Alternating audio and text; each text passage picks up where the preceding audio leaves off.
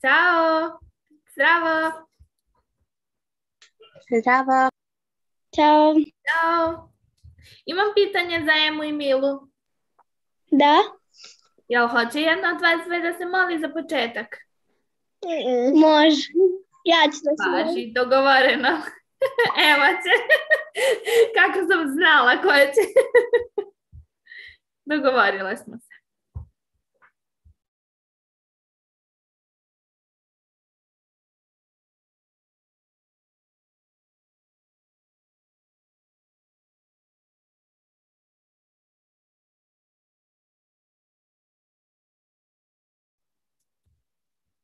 Sačekat ćemo još koji minut da vidimo da li će još neki drugari da nam se pridruže. Važi?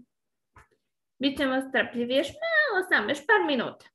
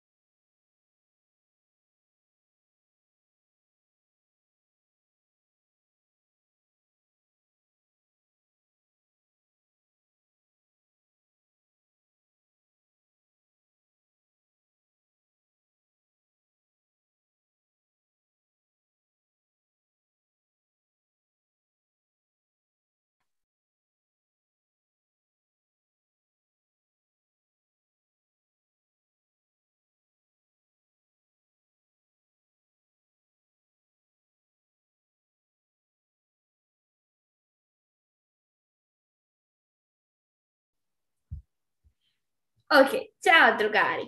Uključite svoje mikrofone za sad, uh, jer ćemo sad malo da pričamo dok nam se ostali pridruže. Današnja tema je Biblija i ja. Šta, šta mislite? Da li iko zna možda? Koliko ima knjiga u Bibliji? 66. O, wow! Kao stopa, bravo! I, a sad da vidim, jel ima iko od vas um, ovu, uh, kako se to kaže, čin prijatelja kod izviđača? Čekaj, je li ko od vas uh, u izviđačima za početak? Ne. Ne! Joj! E, Ja mislim, ja mislim da imam. čin prijatelja. Da, mislim da imam. Je li, jesi li morala da učiš sve knjige redom na pamet za čin prijatelja? Ne. Ne? E, pa onda ne znam da li imaš čin prijatelja. Sad, ja da sada vidim. Ajde, vidi. Ovako, Da, recite mi, koja je prva knjiga u Bibliji? Prva Mojsijeva. Bravo. Ne. E, a koja je zadnja knjiga u Bibliji? Otkrivenje Jovanovo. A sad Zašto me svi uvek nekog drugog da pokuša. ok, kažite mi koja je kni- prva knjiga u Novom Zavetu. Matej. Bravo! Woo! ok, Mislim da je ovo taj čin prijatelja. A nije to. Izvini. A nije. Drugačije malo izgleda. Ovako, e, šta mislite, pogađajte, koliko bi vam sati trebalo da pročitate celu Bibliju? Pogađaj, ne možeš da znaš na pamet. Tri. Ne, mnogo više. Deset. Više, Oko dva dana. Više. Deset dana. Manje od 10 dana i manje od dve nedelje. dana. Pet dana. jedna sedmica. Sedam. A sad kažete u satima da pogađate. Mogu da vam kažem da je ispod 100 sati. Više od 30 sati. Deset. Više od 50 sati. Sedamdeset. To je tako. Mislim, tu oko 70.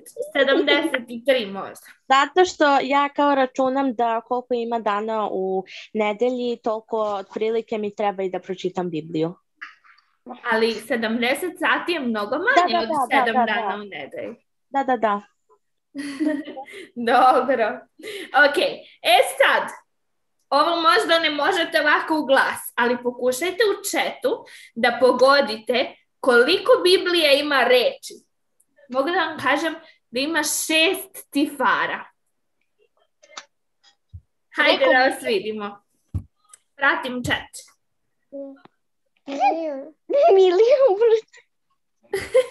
Šest tifara. Šta mislite? Koliko Biblija ima reči?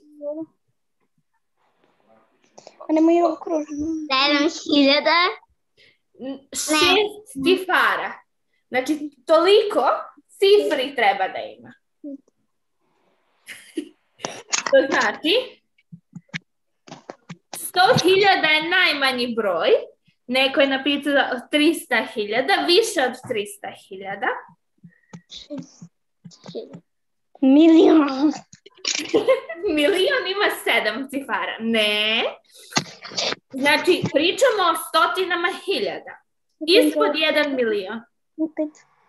Oko sedam miliona. Nema šanse da pogodim. E, Pa ne možeš tačno da pogodiš. Wow, ko je napisao 700.000? To je jako blizu. Ja sam. Bilo blizu 700.000. 800 hiljada. A, malo manje od 800.000. To, Biblija ima oko 700.000, 73, e, 773.000 692 reči. E, a sada, ko hoće da mi kaže, šta mislite, šta je zadnja reč u Bibliji? Nemojte da otvarate Biblije, šta mislite šta je zadnja reč? Amin. Amin je poslednja riječ. Bravo! Amin. Amin. E, kažite mi, kad još kažemo amin? Na, na kraju završimo molitvu. Na kraju molitvu. Tako je, bravo. Hvala vam puno što ste učestvovali. Evo sada mogu da vidim da su nam se još mnogi drugari pridružili. I a, sada možemo izvanično da počnemo ako ste spremni. Danas ćemo slušati pesmu koju su nam spremili Emma i Benny. Nadam se da ih vidite ovde. Emma i Benny su nam spremili jednu pesmu i sada ćemo svi da isključimo svoje mikrofone i da im se pridružimo u pevanju. A zatim će se, ako ne grešim, Emma sa nama pomoliti.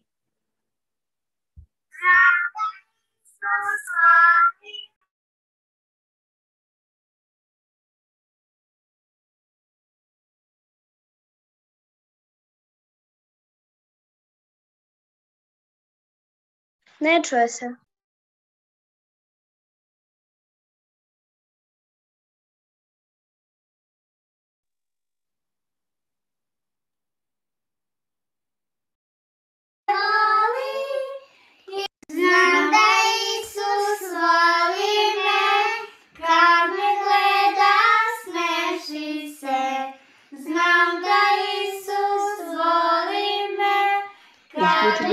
Da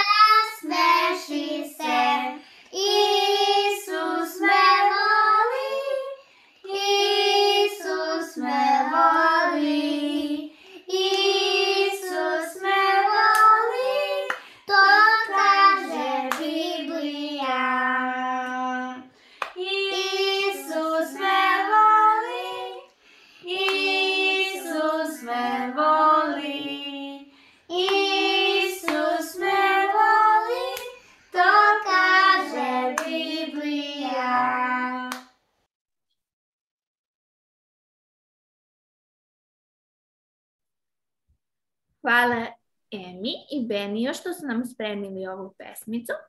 A sada bih zamolila Emu da se pomoli sa nama. Izvoli. Dragi Isuse, hvala ti što je napokon došao tvoj sveti dan, što smo mogli da se odmorimo. I hvala ti što si nas čuvao ove sedmice, sve što si nam dao i ove divne dane sa suncem u Hristovo ime. Amin. Amin. Hvala ti puno, Ema. Sada ćemo vidjeti jedan kratak video o tome šta je Biblija. A budite fokusirani i pazite zato što ćemo definitivno razgovarati o ovome čim se video završi.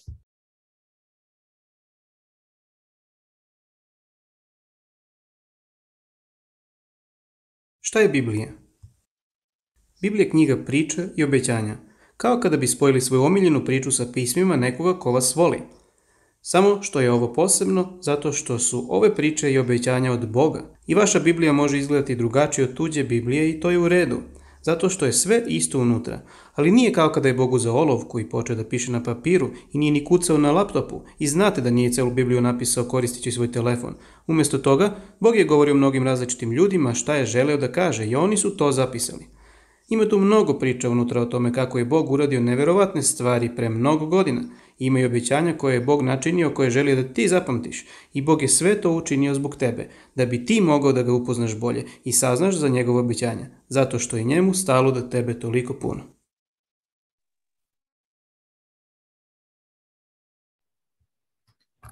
Šta mislite? Da li je bitno koje je boje vaša Biblija? Ne. No. Ne. Molim da podelite sa nama koje je boje vaša Biblija? E, mogu ja? Možeš? E, roze sa šljokicama. Mogu i da je pokažem. Šljokicama, stvarno. E, pa to bih jako crveno. voljela da vidim. Moja Evo normalna sada. crvena. To je tamno crveno. Moja je crna. I moja. Crvena? Moja je isto crna. Moja je bela. Opa, u, mene bi bilo strah da imam belu Bibliju zato što sve belo onako ubrzo postane ne belo. Davide i Andrijana, recite slobodno. Ja imam crvenu. Plavu i crvenu Bibliju, wow, odlično. E, sada jedno malo teže pitanje. Šta mislite, šta znači reč Biblija? Sveto pismo. A, odlično, sveto pismo je sinonim koji imamo za Bibliju.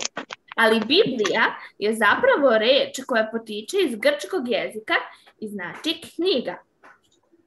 A sada mi recite, šta mislite, na kom jeziku je napisana Biblija?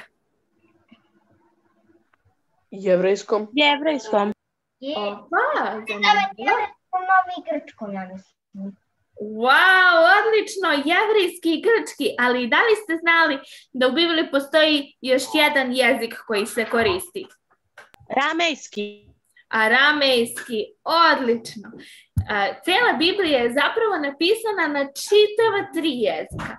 O tome ćemo pričati još malo kasnije, a sada ćemo čuti iskustvo Marije Kurtić, koja, koja će nam podeliti više o svom iskustvu sa svojom Biblijom i sa, svojim tekst, sa, sa svim tekstovima iz Biblije. Recite mi, koji je vaš omiljeni tekst iz Biblije? Samo par osoba. Da poštujemo sebe. Ok, D- e, drugi neki? Um, Reci slobodno. um, e, rekla ste omiljeni tekst iz, iz. Biblije. Da. Moj omiljeni tekst iz Biblije je i završetak i početak Biblije. Wow, zanimljivo. Evo sada ćemo da čujemo teta Mariju i šta ona ima da nam kaže. Ugasit ćemo mikrofone, važi? Da. Odlično.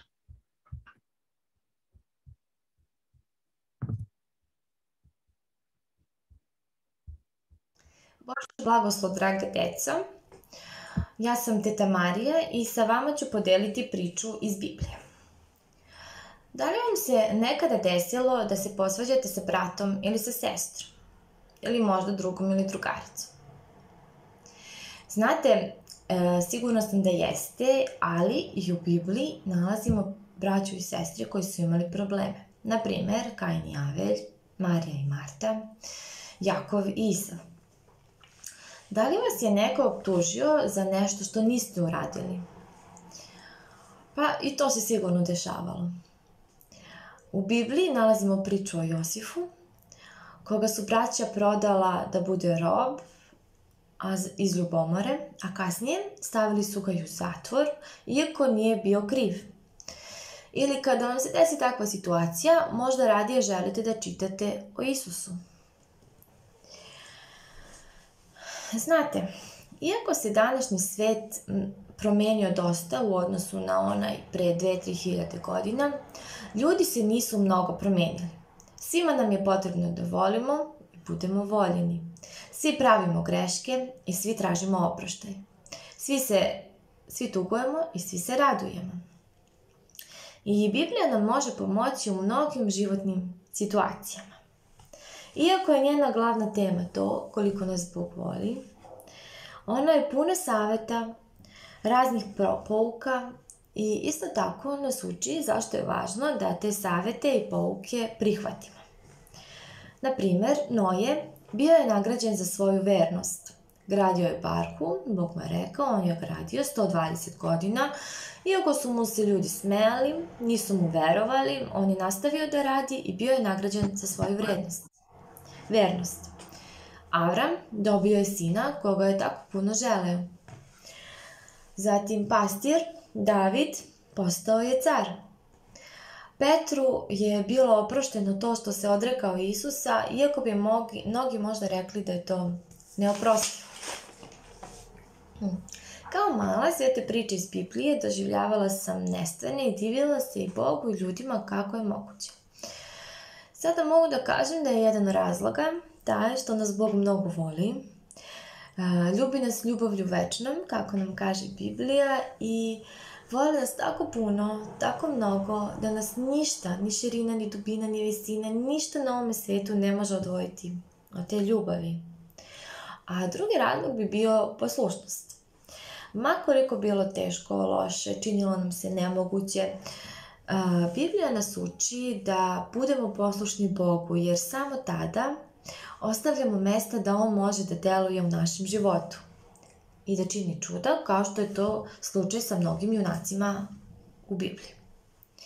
Sada bih žela da vam ispričam priču o jednom dečaku koji je sa samo 8 godina postao car. Taj dečak zvao se Josija.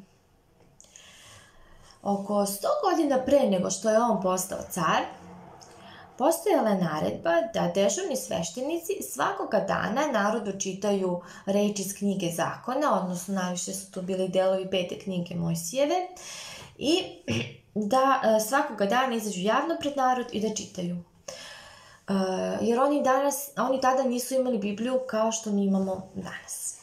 I carevi su zanemarili tu e, naredbu I narod je tako puno godina bio lišen e, svih tih dragocenih pouka iz Božje reči. E, carevi koji su bili pre Josije nisu poštovali to i narod je zaboravio Boga i klanjao se idolima i radio je puno loših stvari. Tako da je Josija postao car u jedno teško vreme, teškom narodu. Nakon nekoliko godina svoje vladavine, naredio da se obnovi hram, da bi se ta građevina sačuvala od propadanja. Prilikom tog obnavljanja pronađena je ta knjiga zakona koja je umeđu vremenu bila izgubljena. I um,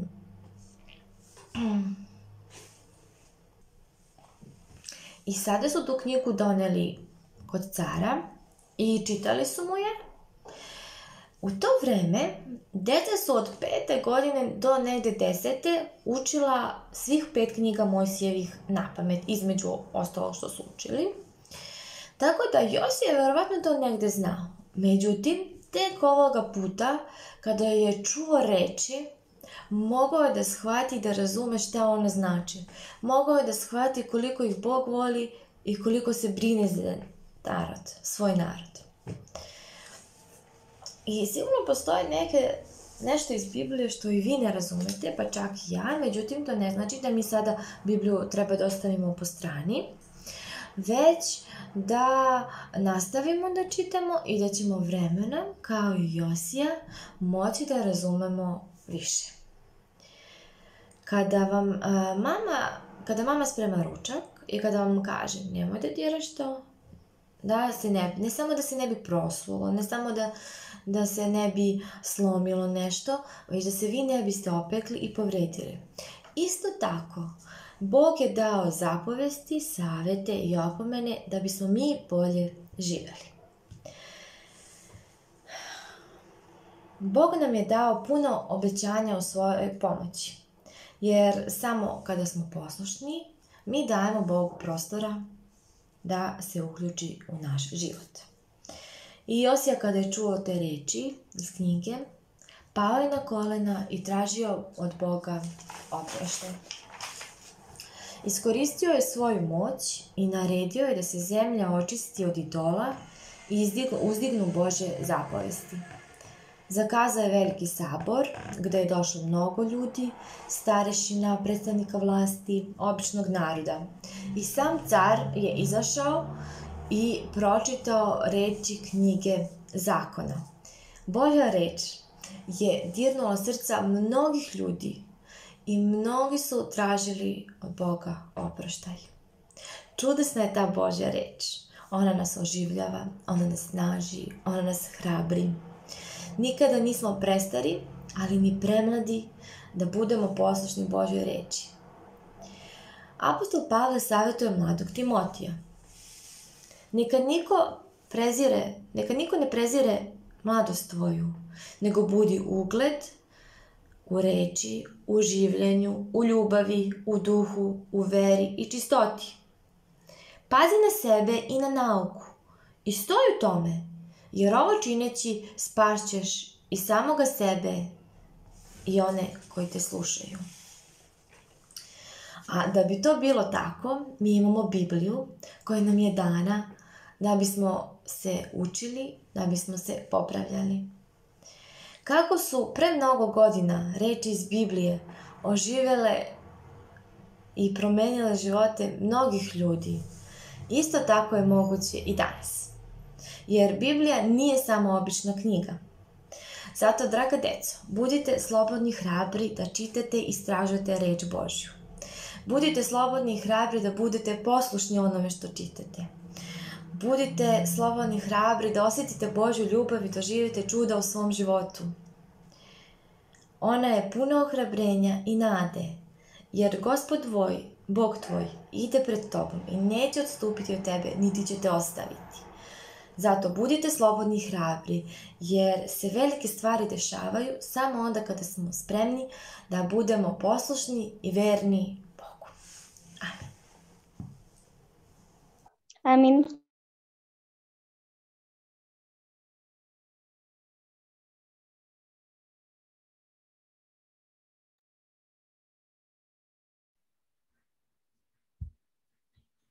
Um, ove sedmice nismo imali crteže, ali zato a, nam je naš drugar Mihajlo poslao jednu recitaciju koju je spremio.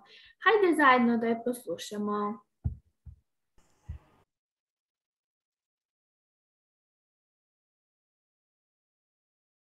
Dižu se carstva u sjaju svome, bogatstvo, mudrost, ponost i slava, brzo se dižu, brzo se gube, ko, ko cvet baš kao trava. Gordi se čovek mudrostu svojom, snagom duha čudesa stvara.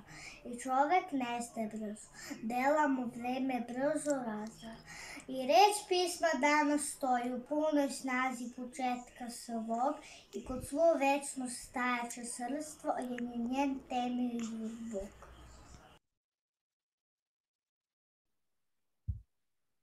E pa Mihajlu, hvala puno. Ovo je bilo jako lepo spremljeno i a, baš mi je drago što smo ovo čuli. Pre nego što pređemo na sledeći video. Kaže, Biblija stoji od svog početka.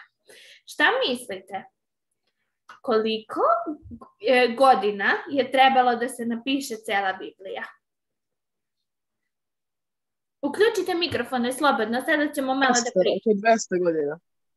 Koliko? 200? 200. A, 1500. mnogo više od toga. 1500. 1500, odlično. Pogledajte. Hiljadu.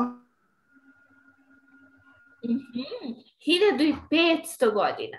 A, prve a, spise Biblije imamo otprilike 1400 godina pre Hrista i Biblija je završena negde oko 100. godine posle Hrista. Od čega se sastoji Biblija? Od dva dela. Od dva dela, starog i novog zaveta. Zaveta. Starog i novog zaveta. Koji zavet više volite, stari ili novi? Stari, Oba. Opa, ko je rekao stari? Zašto stari? Stari. Ko je rekao stari malo pre? Slobodno se javite, zašto više volite stari zavet? Ja Mila, reci, uh, Ja sam rekao stari. Jana u stvari. Mila Jane. Ne. Dobro, uh, ja vidim ovde samo što piše na ekranu. Jana, zašto više voliš stari? Jana, jel me čuješ? Ja isto više volim stari. Anđela, reci mi, zašto više voliš? Ja više volim stari zato Stari zašto voliš? pisao, pi- pisao Mojsije o Božim, o Božim zakonima i o, e, o Edemskom vrtu. i Opisuju nekako od početka ove stvaranja. priča iz Mojsijevih knjiga. Mhm. Jana, zašto ti voliš više stari? Jana, jel me čuješ? Uh, ja volim stari zavet uh, zato što je uh, David tamo. Pa. David. Mhm. Jel ima neko da više voli novi zavet? Mam... Šta? Jel ima neko, Ovo ja volim stari. ko, ko više voli novi zavet? Ja, Emilija. Emilija, reci mi, zašto više voliš? Pa zato što uh, tu ima dosta raznih uh, priča o Isusu i tu se Mhm. nalazi Isus, pa mi je omiljeni. Zbog priče o Isusu. Odlično. Super. Uh, Ja. Hana, Ovaj stari zavet. aha, zašto više voliš stari zavet? E, pa tu su bili puno proroka, carevi, Aja i Mojsije i zanimljiv mi je. Odlično. E, možeš da mi kažeš kako se zoveš? Teodor. Teodor. Hvala ti, Teodore. Hana, jel si želela nešto da kažeš? E, da, ja volim Novi Zavet zato što se tu više priča o Isusovom e, dolasku i Mhm. zato što je u svemu tome nekako, ne znam, Ja volim stari i novi zavet, zato što je u starom zavetu se pominje o prorocima, a u novom zavetu o otkrivenju. Aha, zanimljivo, u Novom Zavetu voliš otkrivenje. Odlično. E, imam još jedno veliko, veliko pitanje za vas. Zašto vi čitate Bibliju? E, da bi bolje zna, da bi e, bolje znali zakone koje nam je Bog e, zada, koje nam je Bog dao, ka, koje nam je Bog dao i da bi prosto učili. Dobro. Hvala ti, Anđela. E, Teodore, da?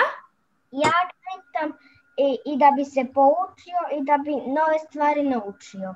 Bravo, hvala ti, Teodore. E, Davide i Andrijana? Ja volim zato što e, volim da saznam nove stvari iz Biblije. Aha, bravo. Jel ima još neko? Klea, izvoli. Pa zato što e, Biblija nas uči kako da živimo. Bolji život. Aha, hvala. Još neko? Zašto vi čitate Bibliju? Zato što volim, pošto nam je Bog rekao da znamo koje nam je pravilo. Aha, da znamo šta nam je Bog rekao. Je- Jel si ti Rebeka, jel tako? Em, ne, Ne, kako se zoveš? bila Rebeka pa sam ja. Aha, a kako se ti zoveš? Sara Šili. Sara, izvinjavam se. Ok, Ivane, jesi li htio nešto? Ja volim da čitam Bibliju zato što volim da saznajem nove stvari e, koje će nas poučiti da živimo bolje. Hvala ti. I Jana? Ja čitam Bibliju zato što da bi naučila nešto novo o Bogu i tako. Je. Hvala vam puno. Evo sada ćemo da vidimo jedan kratak video, isključit ćemo svi mikrofone i vidjet ćemo jedan kratak video zašto čitati Bibliju.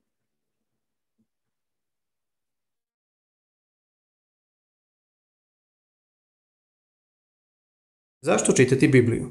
Sjeti se svoje omiljene priče. Mnogo možeš da naučiš iz te priče. I ako zapamtiš tu priču, možeš je reći i nekome drugom kasnije i oni mogu mnogo naučiti iz toga. Ali šta se dešava ako ti nisi čitao tu priču dugo vremena? Da, zaboravit ćeš je. Sada se sjeti prve stvari koju si ikada naučio. Ne sjećaš se? Naravno da ne. To je bilo pre mnogo vremena. Ali da si to zapisao, mogao bi da pročitaš to kada god želiš i da se podsjetiš šta je to. I zato čitamo Bibliju, da bi se setili svih priča i obećanja koje je Bog načinio kada je razmišljao o tebi. I On želi da zapamtiš sve te stvari i da učiš iz njih, zato što si ti bitan Bogu.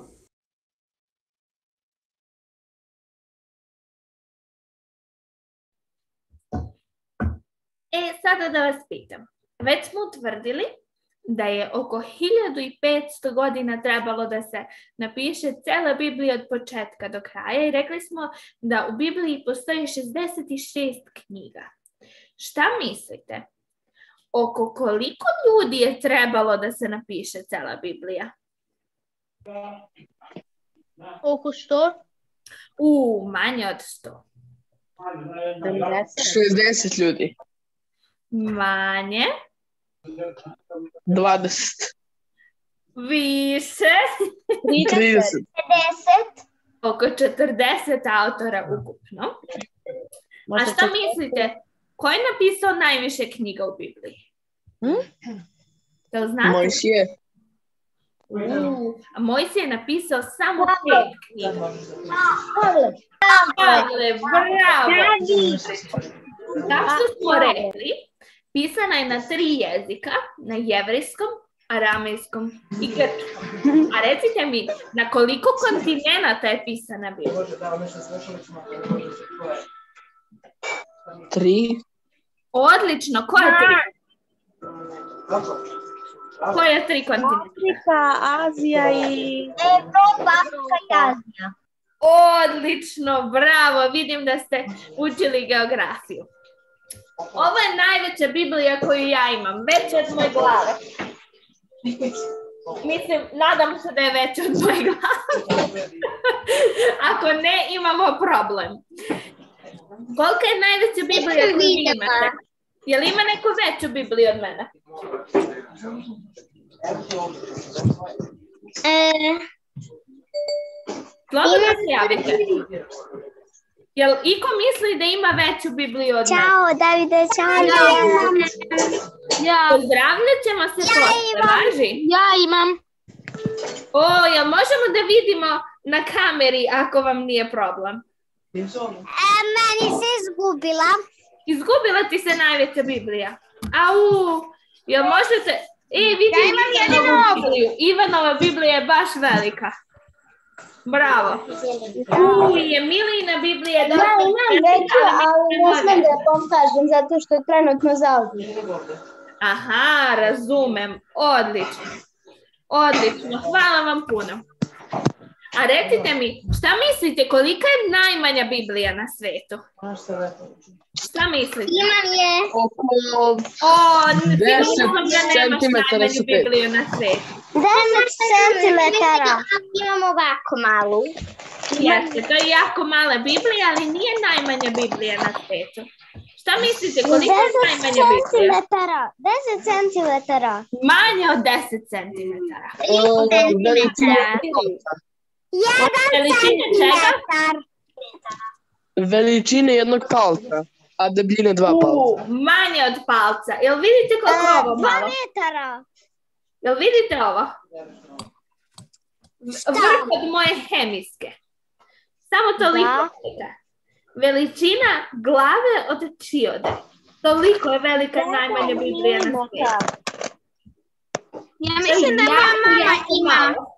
Je velika jedan milimetar ili manje.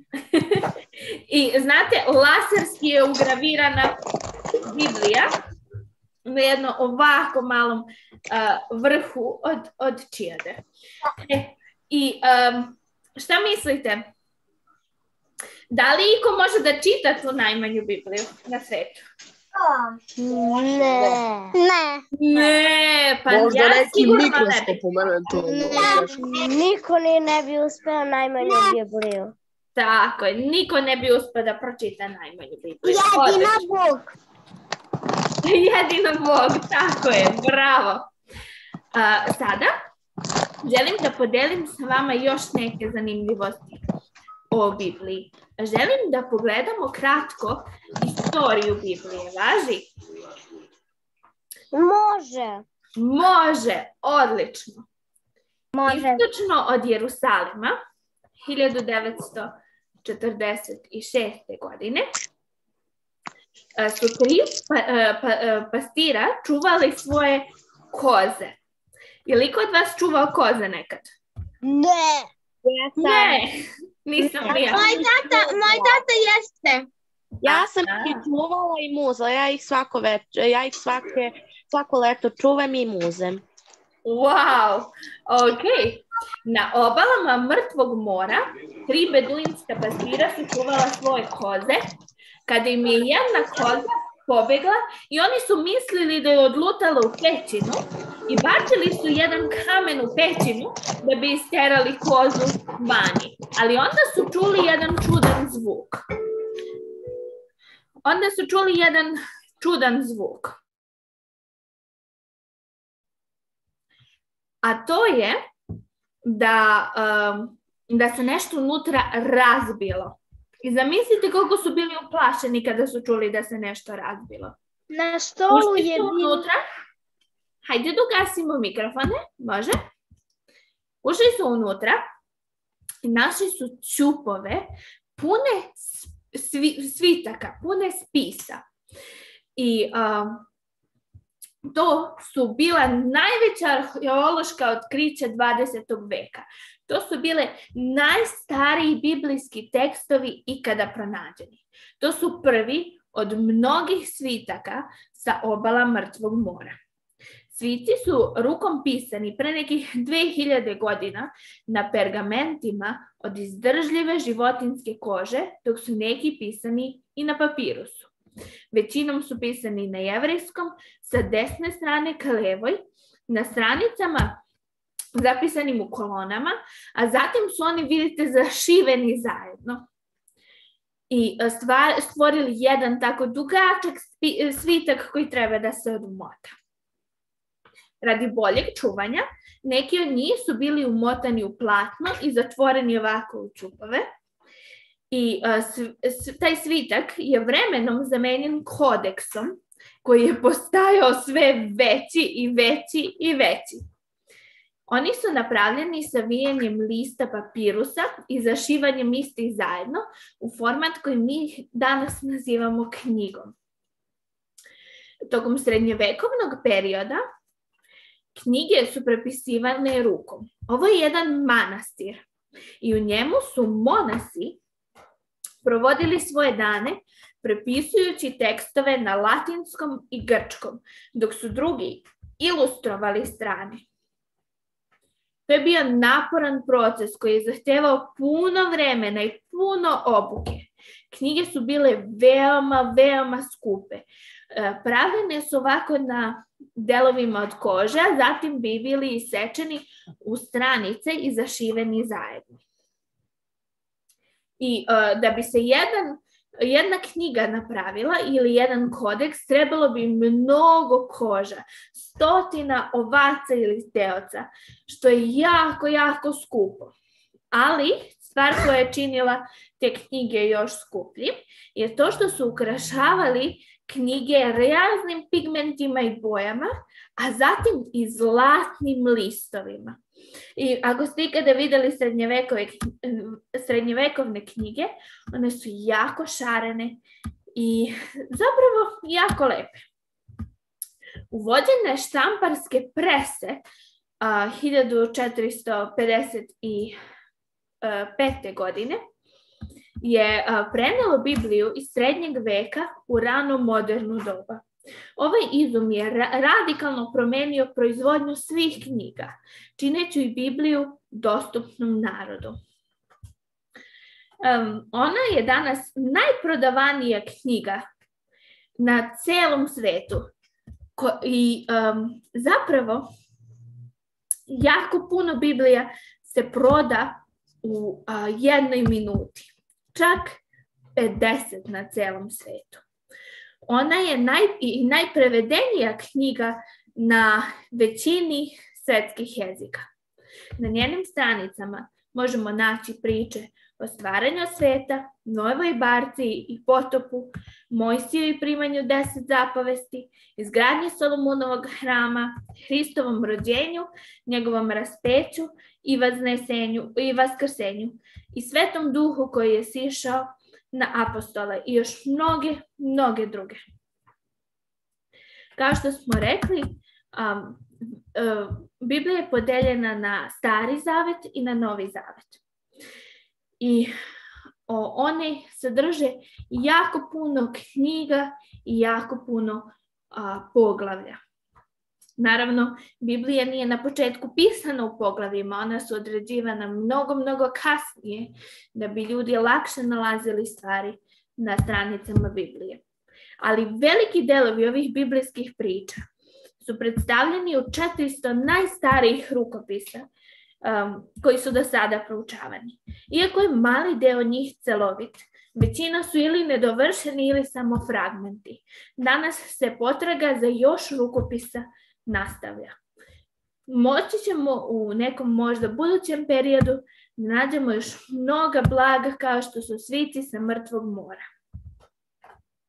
Recite mi, šta mislite, na koliko jezika je prevedena uh, Biblija? 150. Na 150.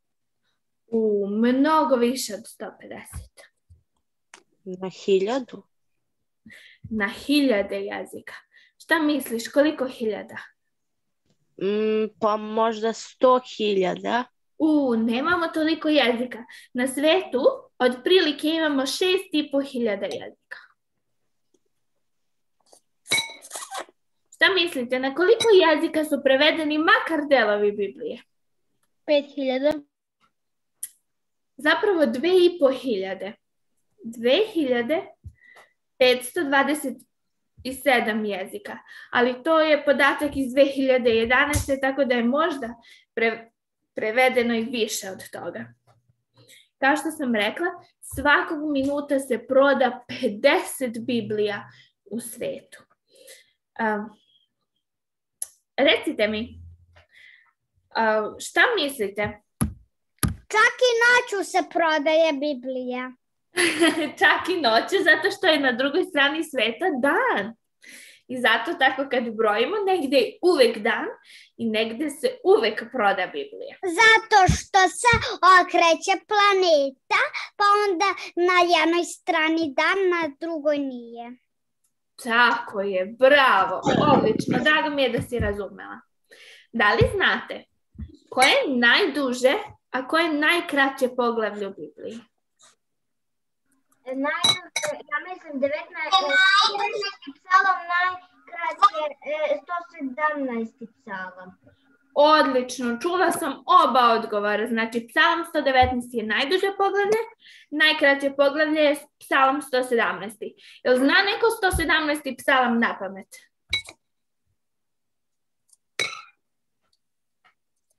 Jel može neko da nam izrecituje 117. psalam? Nemojte da se stidite. Slobodno. Ja jedno mogu da pročitam. Možeš da ga pročitaš? Mm, Da, pa Biblija. Tri. Ok. Daj da pročitamo. Ha, Možeš, možeš da pročitaš. Mislim da se Teodor javio prvi. Možeš slobodno da pročitaš 117. psalam. Mogu li ja nešto da izrecitujem? Uh, možeš, evo čim Teodor pročita 117. psalam. Hvalite gospoda svi narodi, slavite ga sva plemena, jer je velika milost njegova k nama i istina gospodnja traje do vijeka. Aliluja. Amin. Hvala ti puno. David Andrijana, ko je htio nešto da izrecituje?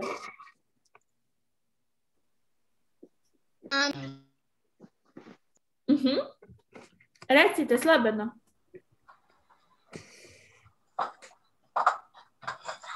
Davide? Andrijana? Gospodu sva zemlja, služite gospodu veselo, idite pred lice njegovo pevajući, poznajte gospoda je Bog, on nas je stvorio, mi smo dostojanje njegovo, narod njegov i ovce paša njegove. Ulazite na vrata njegova sa slavom, u dvore njegove sa hvalom. Slavite ga i blagosiljajte ime njegovo, jer je dobar gospod, milost je njegova uvek i istina njegova od kolena na koleno. Bravo. Hoćeš li da nam kažeš koji je to psalam? Molim te. Stoti. Stoti. Bravo. Odlično. Hvala puno. Mogu E. da kažem jedan kratki zlatni stih. Može. Izvoli. Podeli vam svoje, poznaje se i djete. Odlično. Hvala puno. Mogu ja da pročitam 117. psalom.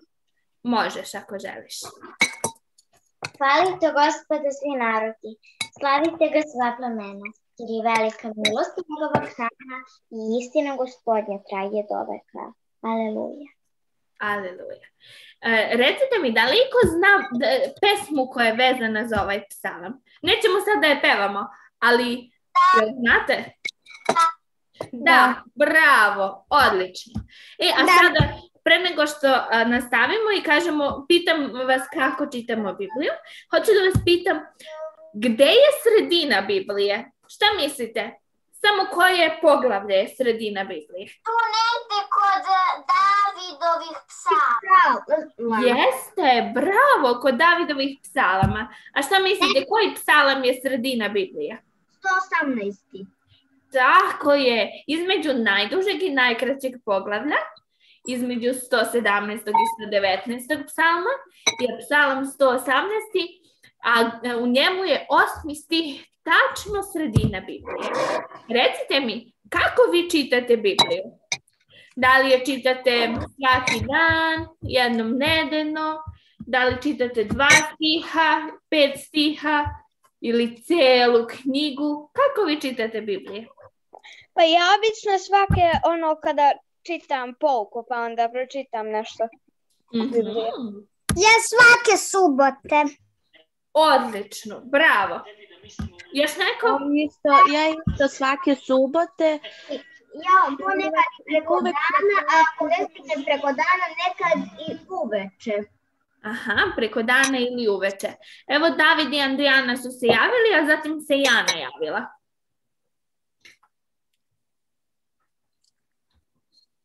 David i- i Andrijana, jeste se javili da kažete kako čitate Bibliju?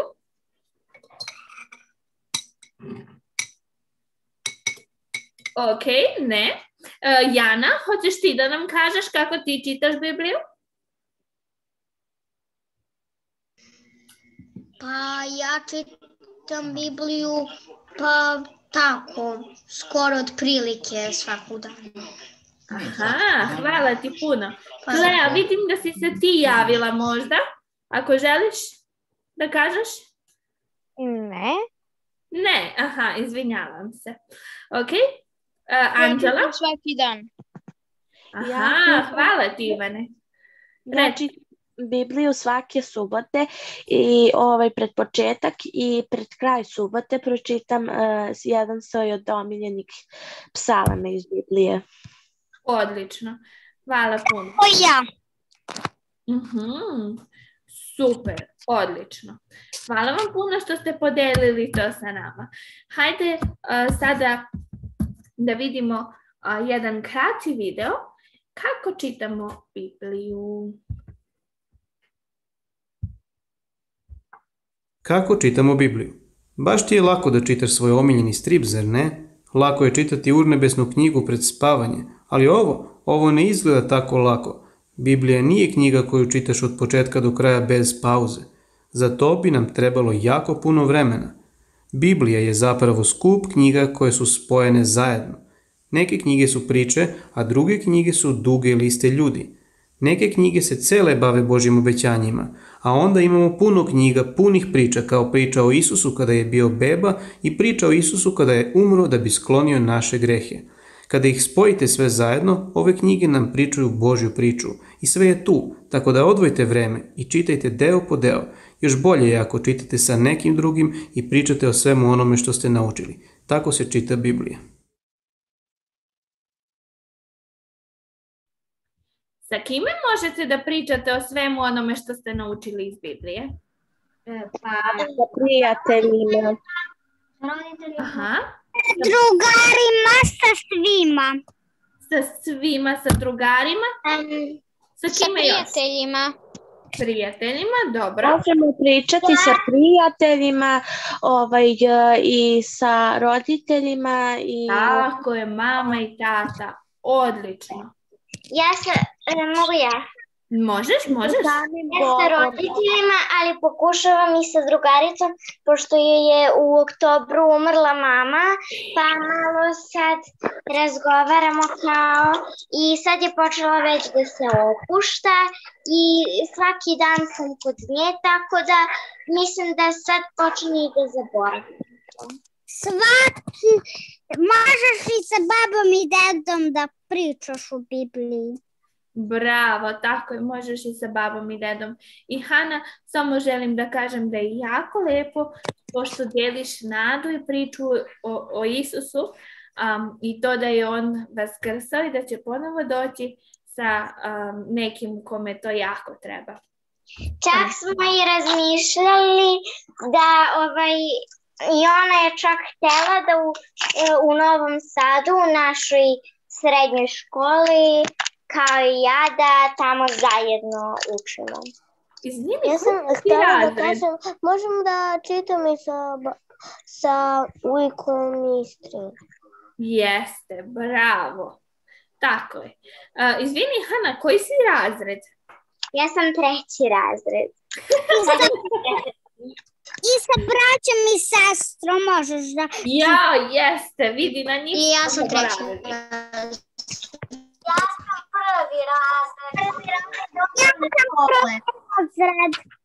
Odlično, hvala vam što ste nam rekli koji ste razred. Evo, David i Andrijana su strpljivo podigli ruku i čekaju. Tako da slobodno podijelite sa nama. Recite. David, Andrijana?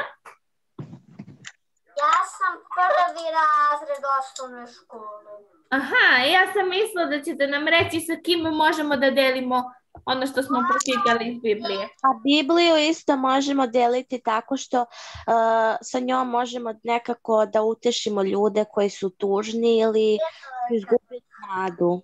Hvala ti, Anđela, ali sada David i Andrijana, samo njih da čujemo za čas. Možemo da delimo Mhm. u Bibliji sa roditeljima. Odlično. Ema i a, Mila, recite. Mi smo četvrti. Vi ste četvrti, aha, razred. Ja sam Dobro. četvrti razred. Mhm. Sara, izvoli. Reci. Jako volim sa Rebekom da čitam. Odlično, puno i sa drugovima iz vrtića i škole da čitam. Bravo, Nikola. A, Sara ili Re- Rebeka? Nisam sigurna koji, recite.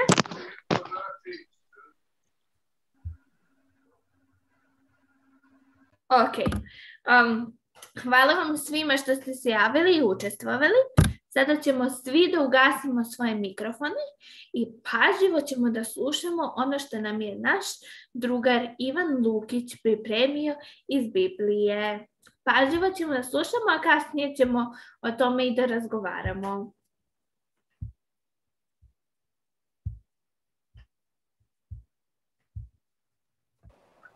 Pozdrav drugari! Radujem se što smo zajedno i siguran sam da ste uživali u večerašnjem programu baš kao i ja. Izgleda da sam od malena voleo knjige. Čak mi ni razbijeni nos nije smetao da se udubim u neko štivo. Mama mi je pričala da je i prva prosto proširena rečenica koju sam ikada izgovorio također bila vezana za jednu knjigu. Bilo je to ovako. Razvonio je telefon i mama se javila. Tako mali razumeo sam da neko traži tatu. Jer je i mama ostavila slušalicu sa strane i otišla po njega u sobu.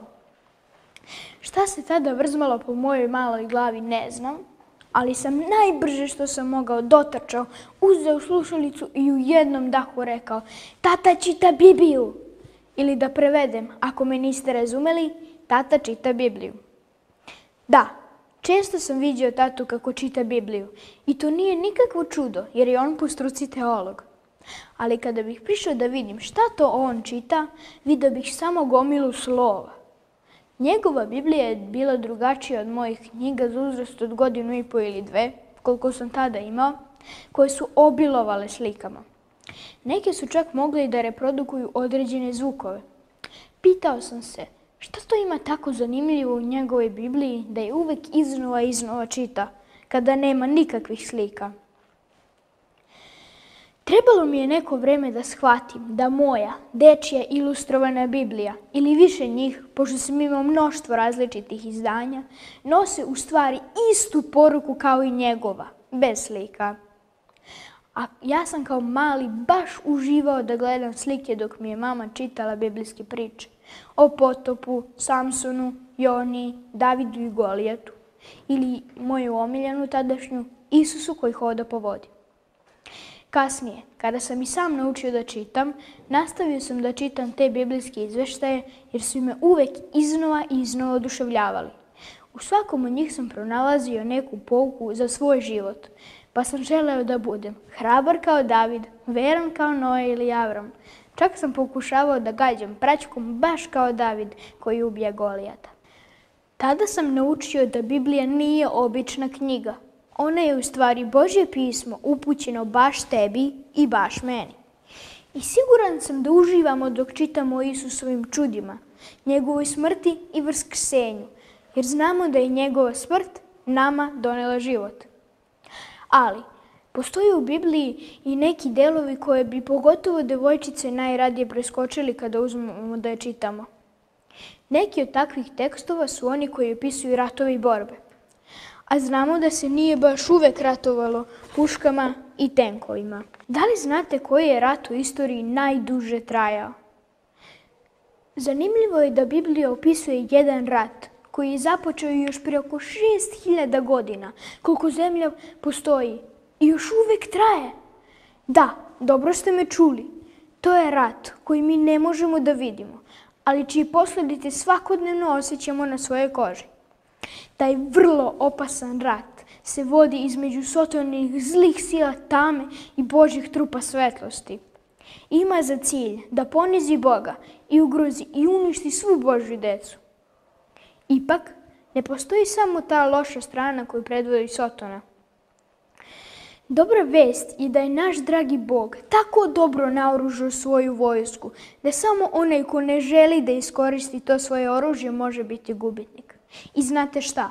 Pozvoje svakoga od nas u tu svoju pobedničku vojsku i pripremio nam moćno oružje koje nas prekriva od glave do pete. Štiteći nas od svake opasnosti i situacije sa kojom se suočavamo. Tome nas uči Pavle u Efecima poslanici šestom poglavlju. 11. Obucite su sve oružje Božije, da biste se mogli održati protiv lukavstva đavolskoga. Jer naš rat nije s krvlju i s tijelom, nego s poglavarima i vlastima i s upraviteljima tame ovoga sveta, s duhovima pakosti ispod neba. Toga radi, uzmite sve oružje Božje, da biste se mogli braniti u zli dan i svršivši sve održati se. Stanite dakle, opasavši bedra svoja, istinom i obukavši se u oklop pravde i obuvši noge svoje u pripravu evanđelja mira, a svrh svega uzmite štit vjere, o koji ćete moći pogasiti sve raspaljene strele nečastivoga. I kad si go spasenje... Andrijana, Davide, čujete I svakom molitvom i moljenjem molite se Bogu duhom bez prestanka i uz to stražite da svakim trpljenjem i molitvom za sve svete. Tamo možemo pročitati da je Sotona toliko podli lažo i prevarant, da jednostavno uživa kada nas izaziva i navodi da radimo stvari koje će povređivati nas same i ljude koje volimo. A samim tim će ponovo nanositi rane našem dragom Bogu. Čitamo da je sotonska sila u pozadini svake laži koju izgovorimo, svake povrede koju nanosimo jedni drugima i lošeg izbora koji pravimo. I zato smo pozvani da u toj borbi protiv neprijatelja Sotone mi, kao dobri i lojalni Hristovi vojnici, stavimo na sebe svaki deo Božjeg oružja. Dok su vernici u Efesu čitali ovu Pavlovu poslanicu, siguran sam da su u svom umu stvorili sliku dobro poznatih rimskih vojnika koji su bili svuda oko njih. A znamo da je rimska vojska bila najbolje opremljena vojska tog vremena, sa najboljom taklikom ratovanja. I svima su bili strah i trepet. Ovako obučeni vojnici deluju baš moćno, zar ne? A znate li da je nama Bog pripremio mnogo moćnije oružje? Pozvani smo da se opašemo pojasom istine, da budemo sigurni da je taj pojas na svom mestu, da dobro stoji i da je učvršćen. U našoj bici je veoma važna istina, jer je Sotona majstor u pričanju laži, još od Edema pa do dana današnjeg. Ali istina Božje reči će nas zaštititi od sotonskih laži. I zato treba svakodnevno da se podsjećamo na istinu o tome da nas On voli i da u njemu imamo pobedu. Kada smo u to sigurni, svako iskušenje koje dolazi na nas ćemo lakše moći da pobedimo. Osim pojasa istine, za svakog vojnika je jako važno da ima zaštitni oklop. Bitka u kojoj mi učestvujemo je opasna i može da napuni naše srce strahom. I upravo je zato Bog dao nama oklop pravde. Ovaj deo oružja prekriva naše vitalne organe, naše srce za koje je potrebno da bude spremno, da se bori na svim nivoima. A Sotona želi da rani naše srce, da nas uvek podsjeti na loše stvari koje smo uradili, da nas osramoti, da učini da se osjećamo kao gubitnici i da zbog toga bežimo od Boga. Da se osjećamo krivima i pokušavamo da se opravdamo. Pošto nama u ovoj bici nije dovoljna naša pravda, Apostol Pavle nas poziva da nađemo zaštitu u Hristu i njegovoj pravdi. Jer je Isus umro na krstu da plati za naše greke. I zbog njegove smrti naši gresi su prekriveni Božjim oproštenjem. Moram priznati da me sljedeći deo vojne opreme koju apostol Pavle opisuje pomalo iznenađuje. Obuća evanđelja mira. Kako je moguće da i cipele, to jest obuća, može da bude oružje? Dobro, čuo sam da čizma glavu čuva, ali da li Pavle baš to hoće da kaže? Sa druge strane, može li vojnik bos u rat? Može, ali nije preporučljivo jer neće mnogo postići, naročito ako je teren nepogodan, a često je tako. Ili zamislite da se se- vojnom polju u maminim štiklama. Zašto je važno imati odgovarajuću obuću u kojoj svaki vojnik može da se kreće nesmetano i brzo, da ga ništa ne žulja i ne sputava u kretanju. Sotonine sile zla vore, vole da se bore u tami, na mestima gdje je lako upasti u zamku i želi da verujemo da se možemo okliznuti u svakom trenutku pasti u toj borbi. Ali Bog želi da stojimo čvrsto i sigurno utemeljeni u radosnoj vesti koja je nama donela mir. Božja ljubav je ta koja nam daje mir i koja nas stavlja na čvrsto tlo. A tako obuveni moći ćemo lakše i drugima nositi radosnu vest. Neprijatelj Boži i naš neprijatelj uživa da ispaljuje plamene strele prema nama. On ih odapinje kroz tamu i gađa tamo gdje smo najtanji, u srce. Samo jedna takva stre, zapaljena strela može prouzrokovati veliki požar straha i brige. Zato su rimski vojnici svoj štit preslačili kožom koji su polivali vodom pre bitke, kako bi se zapaljene strele ugasile kada dođu u dodir sa vodom. Štit je neophodan deo vojne opreme, a nama je Bog dao štit bolji od bilo kog drugog. Štit vere kojim se možemo odbraniti od svakog sotonskog iskušenja. Vera je ta koja može da blokira svaku zlu strelu koju Sotona ispali u našem pravcu. Štit uvek ide ispred nas štit, i štiti nas od njih. Zato, čak i kada naša vera klone, setimo se koliko je jak onaj kome verujemo. To je naš Bog, koga Biblija često opisuje baš kao neprobojan štit i zaštitu svog naroda, a vera je instrument koji nas povezuje sa tim vernim i svemogućim Bogom. Naš um je vrlo značajan. To je komandni centar našeg bića, mjesto gdje mislimo i donosimo odluke. Sotona želi da napuni naš um stvarima koje nisu istinite i nisu važne. Podsjetimo se samo koliko vremena trošimo u svoje mobilne uređaje. Sve ono što tamo gledamo, Davide, čitamo, Andrijana, utiče jel na gledate ono samim sa- tim donošenje odluka. Osim toga, on želi da mi mislimo da moramo biti stvarno dobri da bi nas Bog voleo i da moramo naporno da radimo da zaslužimo Božje oproštenje. Ali na našu glavu Bog stavlja kacigu spasenja da zaštiti naše misli, naš um. Ona nam pomaže da uvek u svom umu imamo činjenicu da nas je Bog spasio i da smo deo Božje porodice i da nas ništa ne može razdvojiti od njegove ljubavi.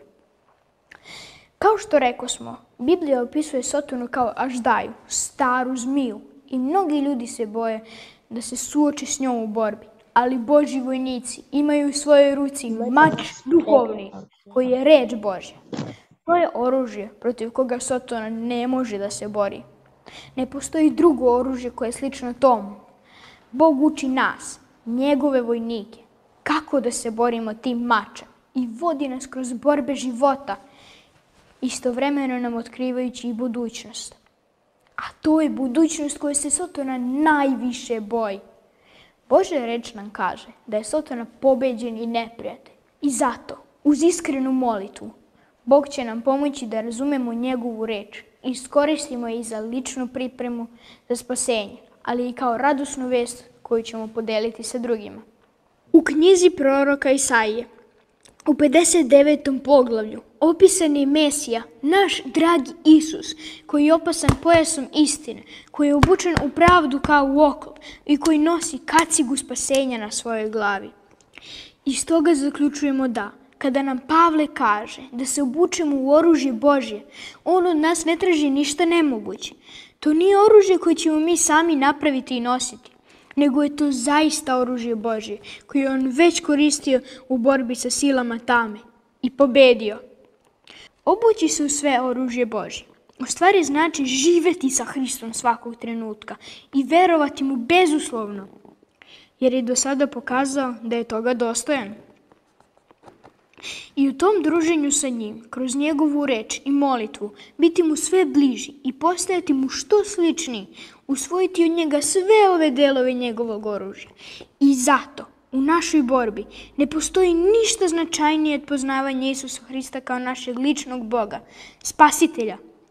Da bismo ga upoznali, na raspolaganju nam je njegova reč, Biblija. Kroz Hrista, ta bitka o kojoj smo govorili je već okončana. On je već pobedio. Svetlost njegovog života je progutala Sotoninu tamo zaovek. Šta mislite, kada su rimski vojnici obukli na sebe sve ono što smo malo pre nabrojali da je činilo deo njihove vojne opreme, da li su tako obučeni i otišli malo da dremnu? Ili se udobno smestili? Uzeli neku dobru knjigu i čitali, jer je sigurno da nisu imali telefone da bi igrali igrice. Ne, kada su stavili na sebe svu vojnu opremu, znalo se da su spremni za rat. Dragi moji drugari, iako još nismo odrasli ljudi i mi smo usred rata, Sotonine strele svakojkih iskušenja fjuču svuda oko nas. Ali, kao što smo vidjeli, Isus nas nije ostavio nespremni za tu borbu. On nas nikada nije ostavio na cedilu. Sve oružje Božje nam je na raspolaganju. I zato ja odlučujem da sa Bogom razbijam vojsku, sa Bogom svojim skačem preko zida, jer je On štit svima nama koji se uzdamo u njega.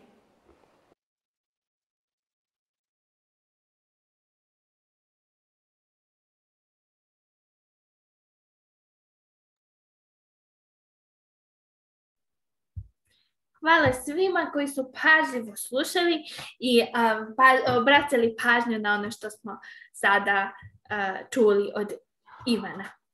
Da li bi mogao neko osim Ivana da nam kaže koji su elementi oružja Božjeg?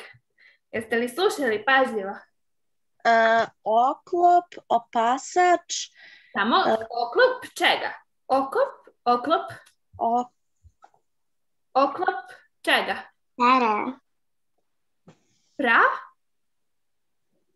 oklop, pravde, ma, Oklop pravde. mač zaštite, Oklop Pravde. Dobro. Opasač čega? Opasač vere. To je štit vere. Imamo štit vere, ali opasač čega? Istine, tako je, bravo. Obuća, Evanđelja mira. bravo. Kaciga, kaciga čega? Spasenja. Senja. tako je. I a, mač duha. Mač svetog duha. Odlično. Hvala vam puno što ste a, slušali i bili pažljivi. Ovo, ako želimo da zapamtimo možda još bolje ili želimo da opet pročitamo, je u Efesima šestom poglavlju. U Efesima šestom poglavlju i to možda možemo sutra zajedno da čitamo. Sada želim da vam ispričam jednu vrlo, vrlo kratku pričicu. Bio je jedan otac koji je imao tri sina. On je bio vrlo dobar otac, pošten i vredan radnik i isto tako je i učio i svoje sinove da budu pošteni, vredni i marljivi o svemu. Jednoga dana taj čovjek je osjetio da će uskoro ostaviti ovaj svet i načinio je testament u kome je naznačio da svakom e, sinu, šta svakom sinu ostavlja od svog imanja. I taj čo- dobar čovjek je umro. Kada su otvorili testament, vidjeli su da im otac zaveštava svoje blago koje je zakopao negde na svom imanju. Da bi primili od oca blago, morali su da pretraže i prekopaju cijelo imanje. I oni su počeli da kopaju, kopali su na jednoj njivi, na drugoj njivi, na trećoj njivi, ali blago nigde nisu našli. Kada su sinovi vidjeli da blago nisu otkopali, rešili su da te prekopane njive te godine zasade dobrom pšenicom. I to su i uradili. Na kraju godine oni su dobili tako mnogo žita da su veliki deo prodali i dobili dobar novac. Tako su uradili i naredne godine i uvek su dobijali dobar, dobre pare za svoje žito. Najzad su se obogatili i rekli jedan drugome. Sada znamo kakvo nam je blago otac ostavio u nasledstvo. Bog nam je dao a, zakopano blago u Bibliji. Šta radimo sa našim Biblijama? Da li ih redovno pretražujemo, redovno listamo i da li istražujemo sva velika blaga koje nam je Bog ostavio u Bibliji? Pričamo drugima o Bibliji. Pričamo drugima o Bibliji. Mhm. A želim još jednu. Učimo u Bibliji. Učimo u Bibliji, tako je. Želim još jednom sve da ohrabrim da revnosno i vredno pretražujemo svoje Biblije, da nađemo sva zakopana blaga koje se tamo kriju i da se naravno obučemo u sve oružje Božje. Sada je vreme za pesmu. Ugasit ćemo svi svoje mikrofone i pevat ćemo zajedno sa muzikom koju ćemo čuti. A molim sve a, koji su možda zainteresovani u četu da se jave ko sve želi da se moli. Hajde zajedno da pevamo pesmu sa našim drugarima, a zatim ćemo se i moliti zajedno. Javite se u četu ko je zainteresovan.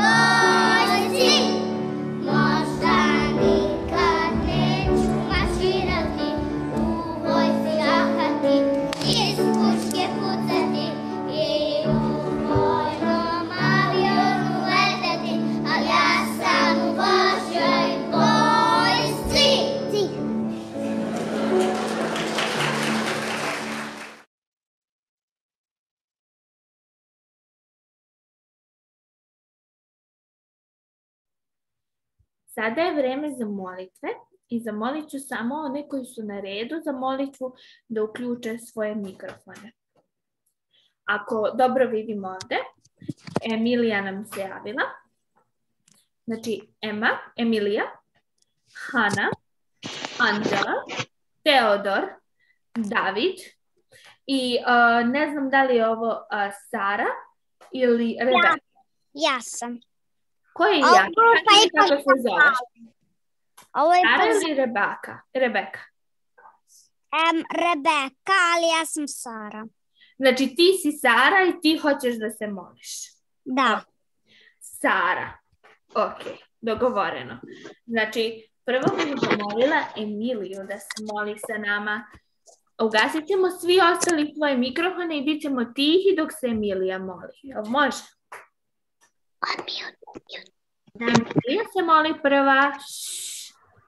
Dragi Isuse, hvala ti što smo mogli da svi da se okupimo na ovom malom bogosluženju. Na početku subote molim te da nas čuvaš i hvala ti što smo naučili nešto danas novo od tebi. Molim te da nas čuvaš i vodiš u Hristovo ime. Amin. Amin. Hana? Dragi Isuse, hvala ti na blagoslovima koje nam daš. Hvala ti što možemo da budemo svi zajedno i što si divan i silan Bog. Hvala ti što možemo da učimo iz tvoje reči i što možemo svi da poslužimo. Hvala ti što sutra će neki moći da idu u crkvu, tebi večno. Amin. Amin. Anđela? Dragi Isuse, hvala ti za ovu subotu. Molimo te blagoslovije i čuvaj nas kad bu- e, čuvaj nas, molimo te blagoslovi sve naše mili i drage, daj nam mir i hvala ti što možemo proučavati o tebi. Amin. Amin. Teodor? Dragi Isuse, hvala što smo mogli bar ovako da se okupimo preko Zuma.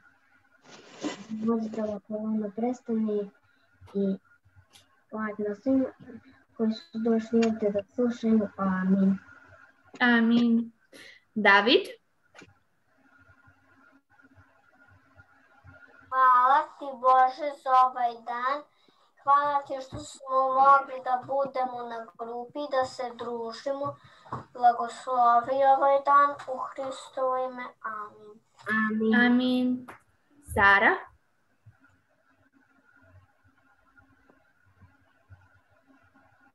Sara Šili?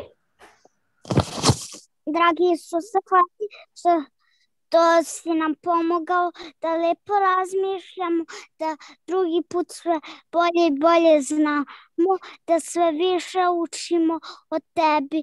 Hvala ti za svet, za sve. Amin. Amin. Amin. Hvala vam puno drugari što ste učestvovali i što ste bili pažljivi. Pre nego što a, se raziđamo, voljela bih da svi obratimo pažnju. Teta Irena ima je neka obaveštenja za nas. Važi? Dobro obratite pažnju. Ćao drugari! Nadam se da ste u prethodnim mesecima uživali ovim našim druženjima kao što smo i mi sa vama. Kao što znate, dani postaju duži, e, ubrzo će i raspust, pa ćemo biti sve više na polju, putovat ćemo možda, e, možda ćemo se i družiti uživo, pa smo iz tog razloga odlučili da ovo bude naše poslednje Zoom bogosluženje. E, međutim, pošto smo pre dve subote imali jedan Zoom sastanak i taj video nam je YouTube nažalost obrisao, a, mi ćemo sutra imati reprizu tog programa. Tako da oni koji su propustili mogu sutra u 18 sati da to vide, a oni koji žele ponovo da gledaju mogu naravno da se uključe. E, želela bih da se zahvalim svima vama koji ste verno bili prisutni na ovim našim sastancima, e, kao i svim onima koji su dali svoj doprinos u pripremanju programa. Želim vam da lepo provedete raspust. Um, u toku leta ćete moći da pratite znači, preko YouTube-a ove propovedi i priče koje smo do sada slušali, a od jeseni se nadam da ćemo nastaviti naša druženja. Lepo spavajte i vidimo se sutra u 18 sati. Ćao! Laku noć. Ćao. Laku noć. Laku noć. Ćao!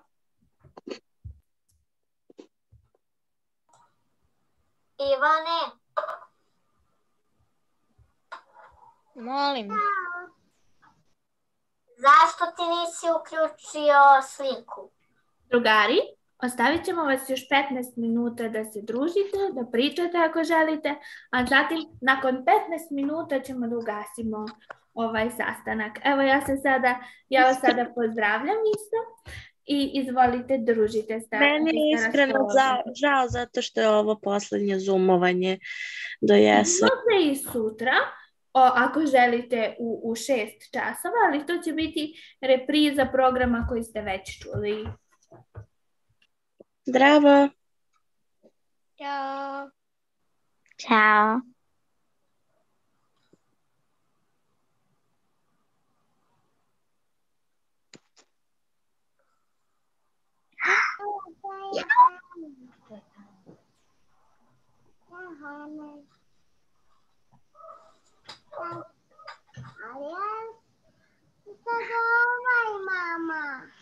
Miau, que que este barato? Tchau.